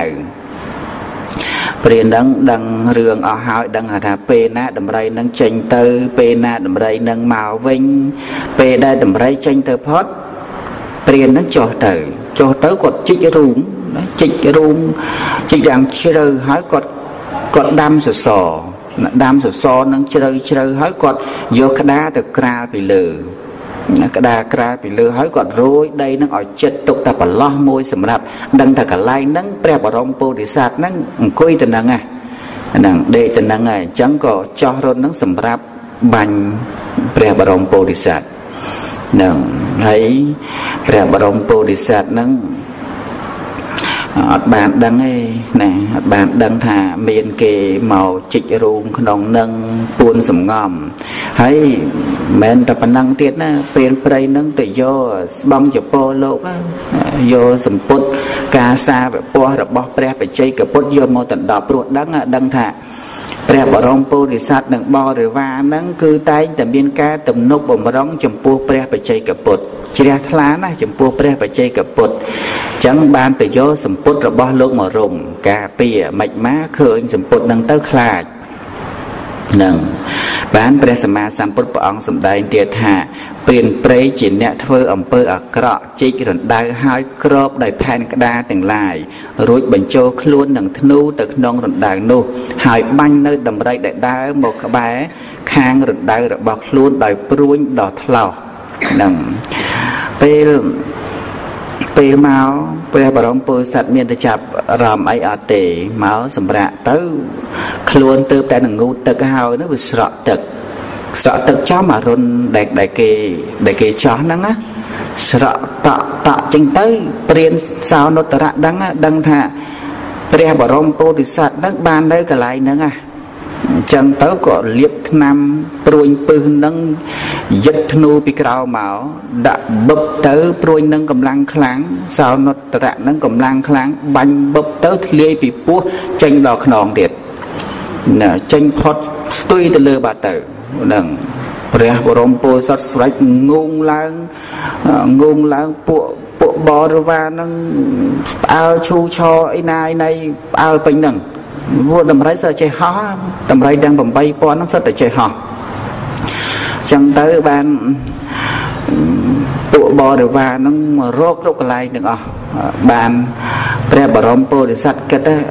គិតថាព្រួយនេះមិនមែនមកពីខាងលើ ហើយក៏មិនមែនមកពីខាងឆ្វេងឬខាងស្ដាំ ពីទិសណាទេគឺមកពីក្រោមពិតប្រកបដែរដឹងណាពួកដឹងថាមុតពីក្នុងពោះមកមុតពីខាងពោះមកធ្លាយទៅខាងខ្នងប្រកាសជាមានគេនៅខាងក្រោមហ្នឹងហើយចឹងទៅបានគិតថាប្រសិនបើយើង ឃើញពពួកបរិវារឃើញប្រហែលជាត្រូវស្លាប់ហើយអ្នកដែលបាញ់យើងហ្នឹងអញ្ចឹងបានពួកបរិវារហ្នឹងឲ្យទៅទៅរកអស់ពួកអ្នកទាំងឡាយមិនក៏មិនទៅរកពួកបច្ចាមិត្តនៅនាងសុផតទានាងសុផតទានឹងនៅអែតចំពោះព្រះបរមពុរិស័ទអត់ទៅណាឯងបានព្រះបរមពុរិស័ទថានាងឯងអត់ស្រឡាញ់យើងទេមិនក៏មិនទៅរកបច្ចាមិត្ត ព្រះបរមពុរិស័ទគិតថាបើនាងនឹងនៅឃើញច្បាស់ជាសម្លាប់ព្រានហ្នឹងណាចឹងឲ្យប្រពន្ធនឹងទៅបាត់ទៅប្រពន្ធនឹងទៅបាត់ហោះវឹងទៅបាត់ទៅ បានព្រះបរមពុរិស័ទនឹងក្រោកឡើងកាយអាដីនឹងចេញមកប៉ើងអាក្តារនឹងទៅណាប៉ើងក្តារទៅឃើញព្រានឃើញព្រានប្រមោនឹងចាប់បឹបមកប្រងបោកឲ្យតើឃើញស្បង់ចពោនឹងដល់ឃើញស្បង់ចពោទៅអត់ទេណាអត់ អត់ហ៊ានទេបានចរចាច្រើនរឿងណានឹងព្រះសម្មាសម្ពុទ្ធព្រះអង្គសម្ដែងថាដំរីដ៏ប្រសើរត្រូវព្រានព្រៃបាញ់ហើយក៏បន្លឺឡើងនៅកោងចនិតដ៏ពលឹកពួកដំរីទាំងអស់ក៏បន្លឺនៅសំឡេងមានសភាពដ៏ពលឹកដំរីទាំងនោះក៏ធ្វើនៅស្មៅនឹងមេឈើឲ្យខ្ទេចខ្ទីហើយស្ទុះស្ទាទៅទិស8ដោយជុំវិញ ដំរីដ៏ប្រសើរក៏ចាប់ព្រាននោះដោយដោយបំណងថាអញនឹងសម្លាប់ព្រានព្រៃនោះក៏ឃើញនៅសម្ពុតកាសាវៈព្រះបរមពុទ្ធសត្វឃើញសម្ពុតកាសាវៈដែលជាទងជ័យរបស់ពួកឥសីរបស់ព្រះហន្តដំរីដ៏ប្រសើរត្រូវសេចក្តីទុកប៉ះពាល់ហើយក៏មានសញ្ញាកើតឡើងថាធម្មតាបុគ្គលប្រើប្រាស់ទងជ័យព្រះរហន្តមានសភាពដែលសពរោះមិនគួរសម្លាប់ អ្នកដែលប្រើប្រាស់សម្ពុតទងជ័យរបស់ព្រះរហន្តហើយអត់គួរសម្លាប់ទេលើកមកបំរុងនឹងបោកក៏ឃើញសម្ពុតនឹងអត់ហ៊ាននឹងអត់ហ៊ានទេនឹងព្រោះព្រះបរមពុរិស័ទនឹងមានការជ្រះថ្លាចំពោះព្រះបច្ចេកពុទ្ធខ្លាំងណាស់ដល់ឃើញសម្ពុតនឹងមិនហ៊ានឡើយនឹងបានព្រះបរមពុរិស័ទនឹងពោលថាបុគ្គលណាមិនទាន់អស់ទឹកចត់គឺកិលេស ជាអ្នកប្រសច្ចៈការទូមាននៅអន្ត្រីនិងវជ័យសច្ចៈនិងស្លៀកដណ្ដប់សម្ពុតការសាវៈបុគ្គលនោះមិនគួរនឹងស្លៀកដណ្ដប់សម្ពុតការសាវៈទេណាអត់គួរស្លៀកដណ្ដប់សម្ពុតការសាវៈទេនឹងទូបានសម្ដែងនៅគាថានឹងចំពោះសោនុត្តរៈព្រាម នឹងហើយព្រះអង្គបានបន្តទៀតថាចំណែកបុគ្គលណាខ្ជាក់ចោលនៅទឹកចត់គឺកិលេសតាំងមមក្នុងសិលទាំងឡាយជាអ្នកប្រកបដោយការទូមាននៅអន្ត្រីនិងវជ័យសច្ចៈបុគ្គលនោះឯងទើបគួរនឹងស្លៀកដណ្ដប់សម្ពុតការសាវៈបានហ្នឹងព្រះបរមពុទ្ធិសត្វសម្ដែងនៅពគាថានឹងនឹងហើយព្រះបរមពុទ្ធិសត្វអត់មានខាងឯសួរនឹងសួរ តើអ្នកឯងមានដំណងអីដើម្បីនឹងសម្លាប់យើងនឹងបានសួរសពគ្រប់មូលហេតុអីយ៉ាងណាយ៉ាងណា បានព្រះសម្មាសម្ពុទ្ធព្រះអង្គសម្ដែងថាដំរីដ៏ប្រសើរត្រូវព្រានព្រៃបាញ់ហើយដោយសដ៏ថ្លោះ មិនមានចិត្តប្រទូសបាននិយាយនឹងព្រាមព្រៃថាណែសម្លាញ់អ្នកត្រូវការអ្វីតើព្រោះហេតុអ្វីបានជាអ្នកសម្លាប់យើង ម្យ៉ាងទៀតការប្រកបនេះរបស់បុគ្គលណាសួរអ្នកឯងចង់បានអីណាហេតុអីបានជាបាញ់យើងអញ្ចឹងតើបុគ្គលណាជាអ្នកប្រើមកអញ្ចឹងទៅបានព្រាននឹងក៏ប្រាប់ទៅថាបបិទ្ធដំរីដ៏ចម្រើន ព្រះមហេសីរបស់ស្ដេចក្នុងដែនកាសីនោះឈ្មោះនាងសុផតទីដែលគេបូជាហើយក្នុងរាជត្រកូលព្រះនាងបានឃើញអ្នកហើយប្រាប់ខ្ញុំព្រះនាងក៏មានព្រះសវណ្ណីនឹងខ្ញុំថានឹងត្រូវការដោយភ្លុកទាំងឡាយណាព្រះនាងថាចង់បានភ្លុករបស់អ្នកណាចង់បានភ្លុក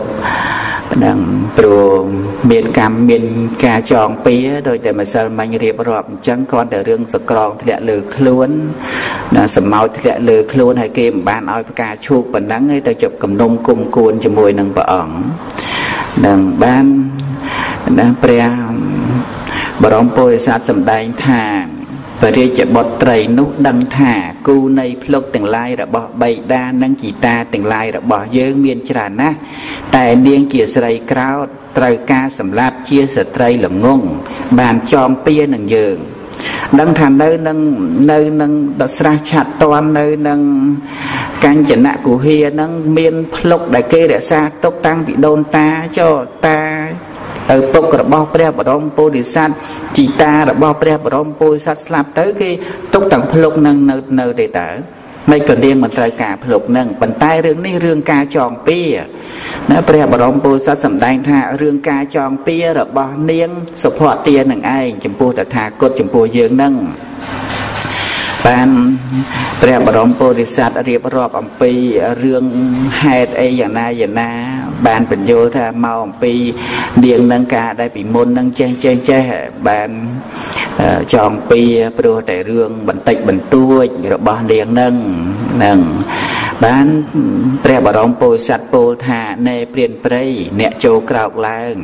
ចាប់នៅរណាហើយអានៅភ្លុកទាំងគូនេះចោះតន់ខ្ញុំមិនតន់ស្លាប់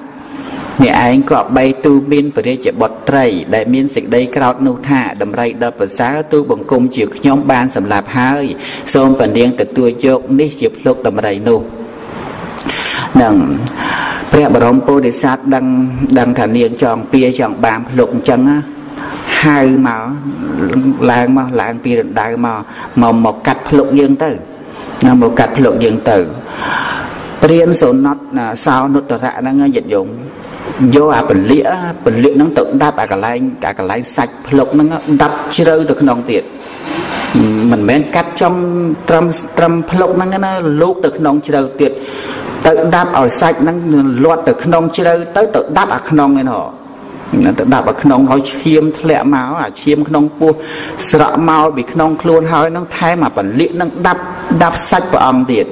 ឈាមពេញមាត់ហើយបាន សោនុត្តរៈនឹងឡើងទៅឈរទៅលើភ្លុក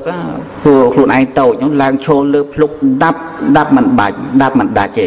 យករណាមកអាទៀតអាក៏អាមិនដាច់ទៀតបានព្រះបរមពុរិស័ទសួរថាអ្នកអាចអាដាច់បានអត់ថាអត់បានទេខ្ជាក់ខ្ជាក់ឈាមពីមាត់ខ្ជាក់ឈាមពីមាត់ហើយនិយាយទៅនិយាយទៅសណ្ដន់ដកសោនុត្តរៈហ្នឹងថាតើអ្នកអាដាច់អត់មើលទៅថាអត់ដាច់ទេ អត់ដាច់ឥឡូវអ្នកឯងចាប់ចាប់ចាប់លើកប្រម៉ោយយើងតិចមកឲ្យឲ្យលើកប្រម៉ោយទៅលើហើយយករណាយករណាមកយើងជួយអា ជួយអាទៀតណានឹងឲ្យសនតរៈហ្នឹងនៅខាងក្រោមព្រះអង្គចាប់ប្រម៉ោយយកប្រម៉ោយហ្នឹងចាប់អាណាហ្នឹងអាខ្លួនឯងទៀតចាប់អាអាតន់ក៏ដាច់បាក់ស្រឹបមកដូចបាក់ដើមឈើអញ្ចឹងបាក់ស្រឹបមកបាន ព្រះអង្គទុក្ខវេទនាខ្លាំងណាស់ណាទុក្ខវេទនាក្រៃលែងណាដែលដែលសោនុត្តរៈនឹងបៀតបៀនព្រះអង្គហ្នឹងជាតួអង្គទេវទត្តផងណាទេវទត្តនឹងចូលចិត្តតែរឿងអញ្ចឹងនឹងបានអាដាច់មកទាំងពីរទៅបានបកុលឲ្យសោនុត្តរៈណាអ្នកយកនៅណាយកនៅភ្លុកនឹងទៅឲ្យនាងទៅហើយប្រាប់ទៅថាយើងស្លាប់ហើយ ណាយើងបានស្លាប់ហើយបានសម្លាប់យើងហើយហើយយកភ្លុកនឹងទៅឲ្យនាងទៅណាគ្រាន់បកគលហើយសួរសួរថាតើអ្នកអ្នកមកដែនដីព្រៃហែមកពៀននឹងអស់រយៈពេលប្រមាណបានព្រាននឹងថាអស់ធ្វើដំណើរពីព្រានស័យមកដល់នឹងអស់7ឆ្នាំ7ខែនិង7ថ្ងៃ ដើរមកដើរពីនឹងមក7ឆ្នាំ7ខែ7ថ្ងៃ បានព្រះបរមពុទ្ធិសត្វថាយើងមិនបានក្រោតខឹងចំពោះអ្នកដែលបានបៀតបៀនយើង បានប្រហារយើងដោយព្រួញ ដោយពាក្យសច្ចៈនេះ សូមកុំឲ្យពីលមរឹកទាំងឡាយបៀតបៀនអ្នកឡើយសូមឲ្យអ្នកធ្វើដំណើរទៅវិញប្រមាណជា7ថ្ងៃសូមឲ្យដល់ក្រុងព្រាណសីចុះអធិដ្ឋានចឹងទៀតណា នឹងរឿងរឿងព្រះបរមពោធិសត្វនឹងកសាងបារមីខ្លាំងណាស់ណាមិនមែនល្មមល្មមឲ្យបានជាព្រះសម្មាសម្ពុទ្ធទេណារឿងនេះយើងក៏បីសិក្សាថាបើព្រះអង្គមិនបានឲ្យភ្លុកនៅទៅព្រាននឹងទេក៏ភ្លុកនឹងត្រូវតែបោះចោលដែររឿងហ្នឹងដែលយើងត្រូវសិក្សាពិចារណាថាសម្បត្តិក្នុងលោកនេះទោះបីយើងមិនបោជាមិនឲ្យទៅនរណាក៏ទៅក៏ទៅជារបស់សោះសូនដែរឥឡូវហ្នឹងយើងមានអី យើងមានជីវិតយើងមានការរស់នៅទ្រព្យសម្បត្តិមាសប្រាក់កូនចៅប្តីប្រពន្ធទីបំផុតក៏យើងត្រូវលះបង់ដែរដឹងកូនមិនល្អយើងតាំងចិត្តថាมันមានទៅលះបង់ទៅទោះបីជាយើងមិនលះបង់ថ្ងៃណាមួយយើងស្លាប់ទៅដែរដែលយើងស្លាប់ទៅមានបានយករបស់នឹងទៅណាមានបានយកកូននឹងទៅណាមានបានយកទ្រព្យសម្បត្តិនឹងទៅណាព្រះបរមពុទ្ធិសត្វនឹកឃើញអញ្ចឹងនឹកឃើញត្រង់ដែលថា ភ្លុកជាទីពេញចិត្តរបស់យើងហើយប៉ុន្តែភ្លុកគឺសัพពញុត្តញ្ញាណជាទីពេញចិត្តក្រៃលែងជាងនឹងទៅទៀតណាបានបកុលភ្លុកនឹងឲ្យទៅសោនតរៈទៅអ្នកយកភ្លុកនឹងទៅណានឹងនឹងបានពេលដែលយកភ្លុកនឹងទៅព្រះបរមពោធិសត្វក៏ដួលទៅដួលស្លាប់ទៅណាស្លាប់ដោយព្រួញពឹសផងដោយ ព្រាននឹងគេរុកស្គៀលភ្លុកនឹងផងឈាមពេញមាត់ទៅចាក់អាកន្លែងមាត់ហ្នឹងអាកន្លែងមាត់ហ្នឹងវាសាច់ខ្ចីហើយទៅចាក់រុក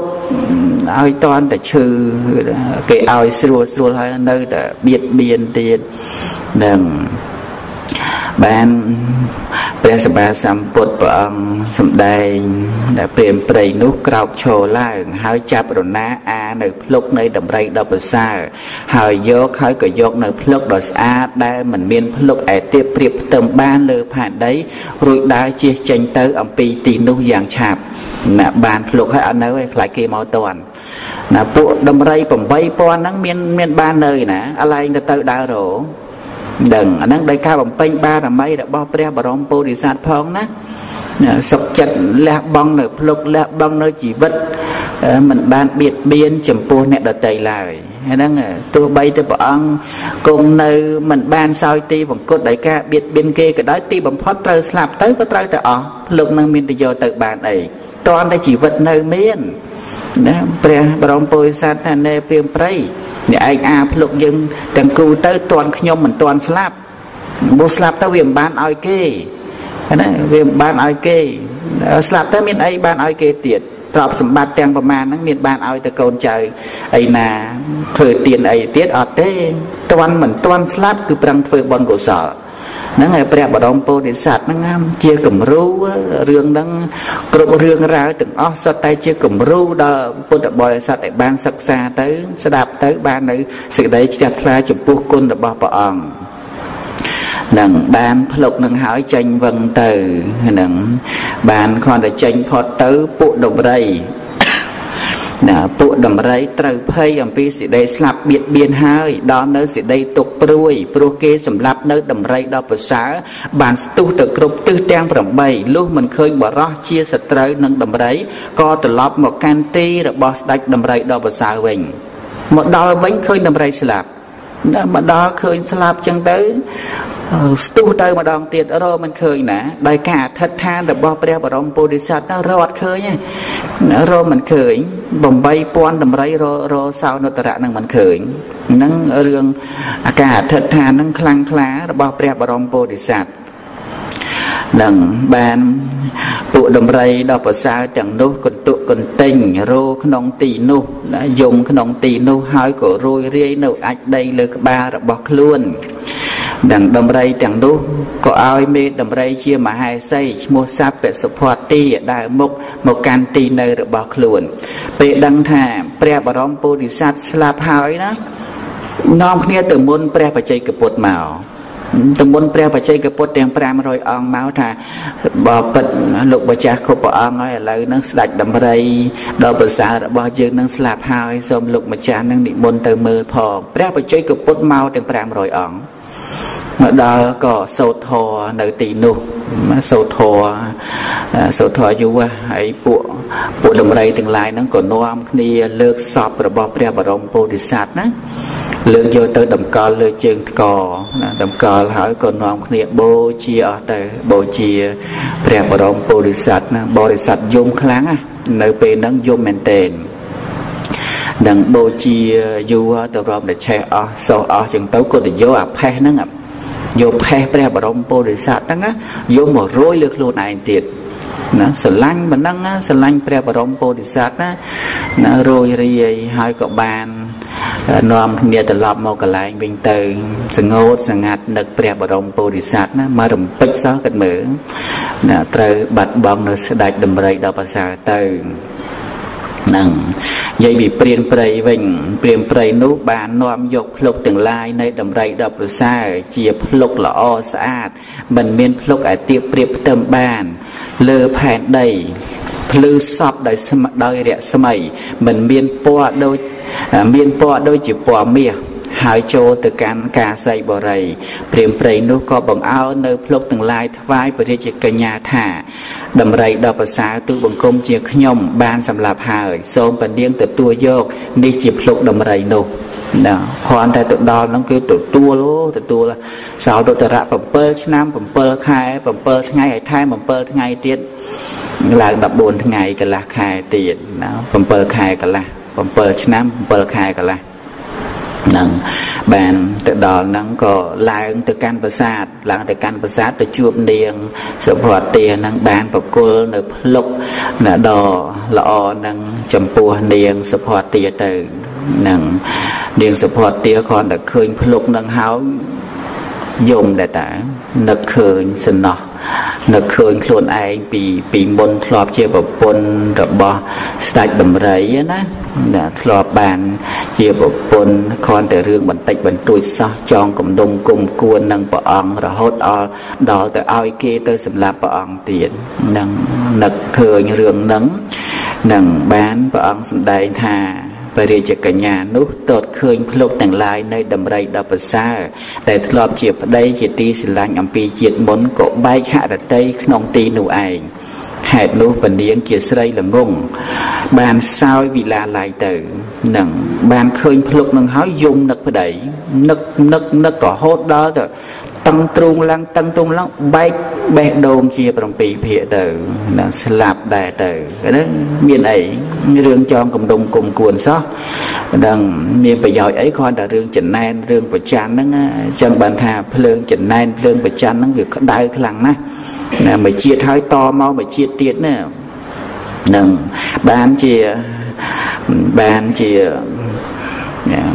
ក្នុងកំណើតចុងក្រោយហ្នឹងនាងនឹងនឹកឃើញយមណាធ្លាប់សម្លាប់ព្រះអង្គធ្លាប់សម្លាប់ព្រះអង្គឲ្យគេប្រើប្រើគេឲ្យទៅសម្លាប់ហ្នឹងបានជានាងនឹងយមហ្នឹងហើយល្ងងនាងនឹង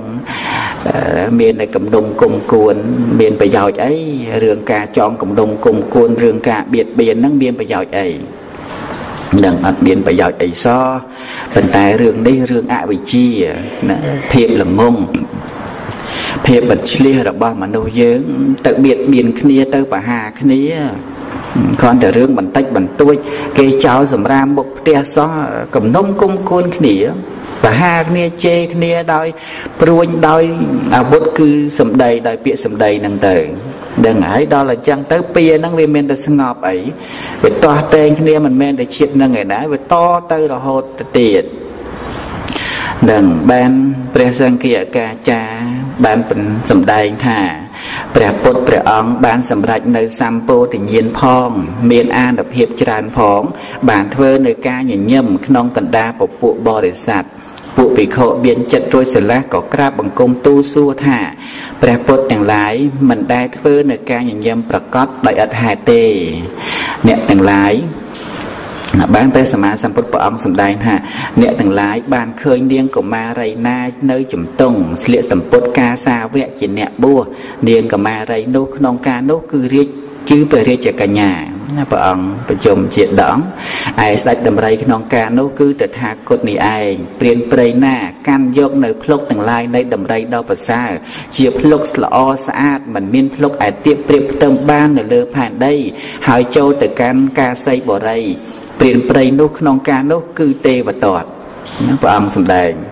ព្រះពុទ្ធព្រះអង្គប្រសិជ្ជៈសេចក្តីក្រវល់ក្រវាយប្រសិជ្ជៈសេចក្តីសោកប្រសិជ្ជៈនៅកូនសគឺរាគៈបានជ្រាបច្បាស់ដោយព្រះអង្គឯងហើយទ្រង់សម្ដែងនៅចរិតខ្ពស់និងទៀបអំពីដើមនេះដែលអន្ទូលទៅអស់កាលដ៏យូរហាក់ដូចជាមិនកន្លងថ្ងៃនឹងព្រះអង្គសម្ដែងមនីភិក្ខុទាំងឡាយការនោះតថាគតនៅក្នុងទីនោះ ការនោះតថាគតជាស្ដេចដំរី អ្នកទាំងឡាយចូលចាំទុកនៅជាដកយ៉ាងនេះចោះណាសូមអនុមោទនានឹងនឹងរឿងនឹងចប់បណ្ដឹងហើយបានមកជាឧទាហរណ៍ល្អណាស់ណានៅក្នុងការដែលយើងសិក្សាអំពីជីវិតយើងដែលបាន ជួបប្រសពជាមួយនឹងរឿងរ៉ាវអីផ្សេងផ្សេងដែលយើងបាននៅការចេះដឹងបាននៅបញ្ញាទប់ទល់ជាមួយនឹងបញ្ហាជីវិតដូចជារឿងការលះបង់ផ្លុកអញ្ចឹងណាបើកុំបានព្រានសនន្តដល់សោនុត្តរៈនឹងមក យកផ្លុកនឹងទៅព្រះអង្គមានអីបានធ្វើទៀនរឿងធ្វើទៀនជាមួយព្រះបច្ចេកពុទ្ធធ្វើហើយប៉ុន្តែរឿងការលះបង់នៅជីវិតលះបង់នៅអវយវៈដើម្បីជាទៀននោះបើកុំតែមានព្រានសោនុត្តរៈនឹងមកព្រះអង្គបានបំពេញបារមីអីអាហ្នឹងរឿងហ្នឹងទាំងអស់ហ្នឹងយើងក៏អញ្ចឹងដែរបើកុំតែមានគេថាឲ្យបើកុំតែមានគេររឿងបើកុំតែមានរឿងដែលយើងត្រូវជួបយើងមានរឿងអីបានអត់ធន់ មិនតន់តែមានរឿងមកដែរណាបានយើងអត់ធន់ទៅបានណារឿងការអត់ធន់ហ្នឹងមិនមែនកើតឯងឯងកើតដោយអត់ហេតុនោះទេដែលយើងចេះតែស្ងប់រងាប់ដោយមិនមានរឿងនឹងมันមានរឿងឯអត់ធន់ណាប្រគុណចាស់មេត្តាអត់សូវចេះខឹងទេអត់ចេះខឹងសារអត់សូវមានរឿងនឹងពេលមានរឿងខឹងទោសៈ ហ្នឹងរឿងហ្នឹងរឿងមកអំពីมันបានជួបប្រសពជាមួយនឹងឧបសគ្គជាមួយនឹងបញ្ហាដូច្នេះរាល់បញ្ហាទាំងអស់មកសាកល្បងជីវិតរបស់យើងតែយើងអត់ធន់បានប៉ុណ្ណានឹងអត់ធន់ជាមួយនឹងរឿងនឹងបានបណ្ណា យើងអត់បានជួបប្រសពជាមួយនឹងបញ្ហាអត់បានជួបប្រសពជាមួយនឹងរឿងពិតដែលកើតប្រកបនោះ នឹងក្នុងបជាដកនឹងចង់តសម្ដែងរឿងអត់ធន់មួយទៀតប៉ុន្តែអស់ម៉ោងណារឿងទេវតាដែលមានការអត់ធន់ណាព្រះអង្គព្រះសម្មាសម្ពុទ្ធព្រះអង្គសរសើរណាស់នឹងចាំសប្តាហ៍ក្រោយទៅចាំតរឿងនឹងហោហែវែងឆ្ងាយនឹងនៅកំណាប កំណាបដំរីឆាត់តន់ហ្នឹងនៅវែងទៀតណាប្រហែលជាត្រូវកាត់បញ្ចូលតអីទៅទៀតដើម្បីឲ្យញាតិញោមបានស្ដាប់ទៅបានជ្រះថ្លាជ្រះថ្លាគុណព្រះអង្គញាតិញោមឃើញព្រះអង្គឲ្យគេអាភ្លុកអាមិនដាច់ហើយនឹងជួយអាគេទៀតជួយអាអត់មានខឹងគេណាសប្បាយចិត្តដូចជាក្នុងកំណើពរាជាប្របាទសិរិរាជហ្នឹងគេមកសុំភ្នែកព្រះអង្គសុំបណិតព្រះអង្គឲ្យគេឆ្កៀលភ្នែកនឹងឆ្កៀលហើយមិនមែនឆ្កៀលភ្លាមបានភ្លាមដាក់ថ្នាំស្ពឹកទេណាអត់ទេ ឆ្កៀលស្រស់ស្រស់ឆ្កៀលបានតិចដាក់ថ្នាំតិចហើយថ្នាំហ្នឹងមិនមែនថ្នាំបាត់ឈឺណាថ្នាំកាហាយទៅទៀតហ្នឹងកាហាយឈាមស្រក់តាមខ្លួនតាមមុខតាមមាត់ធ្លាក់មកទ្រូងអញ្ចឹងទៅនឹងឆ្កៀលបានមកហើយបានភ្នែកមួយមកហ្នឹងគ្រាន់តែឃើញថាភ្នែកខ្លួនឯងហ្នឹងឆ្កៀលបានមកហើយប៉ុណ្ណឹងកើតបៃតេពេញពេញខ្លួនប្រាណនឹងឯព្រះបរមពុរិស័ទទាំងលះបង់មិនមែនលមាក់លមមទេ កុំឲ្យយល់ឃើញថាអេពពុទ្ធនឹងត្រាស់ដឹងដូចងាយងាយដូចគ្មានការសំបារមីអីសោះអត់ទេរឿងការលះបង់របស់ព្រះអង្គនឹងច្រើនក្រៃលែងណាស់វាយើងមិនដឹង យើងសិក្សាអំពីប្រវត្តិរបស់ព្រះអង្គបានដឹងថាតើព្រះអង្គលះបង់បណ្ណាលះបង់ជីវិតទាំងបញ្ញាក៏ព្រះអង្គឆ្លៀសវៃគ្រប់បញ្ហាទាំងអស់ព្រះអង្គបានដោះស្រាយហ្នឹងដាក់ទៅបរិះណាញាតិញោមអំពីគុណរបស់ព្រះអង្គដែលមានសរហូតមកដល់សប្តាហ៍ថ្ងៃព្រះអង្គបដិស្ថាននៅព្រះសាសនាហើយបុគ្គលណាដែលបានបូជាចំពោះព្រះអង្គបានបន់ដល់ក្រៃលែងទៀតនោះព្រះអង្គពេលដែលពៀនបាត់ទៅហើយ ប៉ុន្តែដល់តែសេចក្តីជ្រះថ្លារបស់ពុទ្ធបរិស័ទចំពោះព្រះអង្គនៅតែបានបន់ច្រើនឃើញទេបននឹងមានការចម្រើនសម្រាប់យើងហើយបននឹងគឺជាសេចក្តីសុខព្រះអង្គបកគលនៅសេចក្តីសុខឲ្យយើងដោយការដែលយើងជ្រះថ្លាជាមួយនឹងព្រះអង្គហើយ ណាមិនមែនបននឹងហោះពីព្រះអង្គចូលមកទេប៉ុន្តែដោយគុណរបស់ព្រះអង្គដែលព្រះអង្គបានសន្សំមកហើយណាព្រះអង្គបានសន្សំមកយើងជ្រះថ្លាទៅយើងបូជាទៅចម្រើនទៅដោយបុណ្យកុសលដ៏ក្រៃលែងហ្នឹងគុណព្រះអង្គប្រមាណមិនបានណាសូមអនុមោទនាទុក្ខបត្តាចនិនតងខាភយាបត្តា ចនិភយាសោកាបត្តាចនិហានតសាមពេបេបានិណោសត្វទាំងឡាយទាំងពួងដែលដល់ហើយនៅសេចក្តីទុំសេចក្តីទុំទៅដែលដល់ហើយនៅភ័យសូមឲ្យជាសត្វបាត់ ភ័យទៅដែល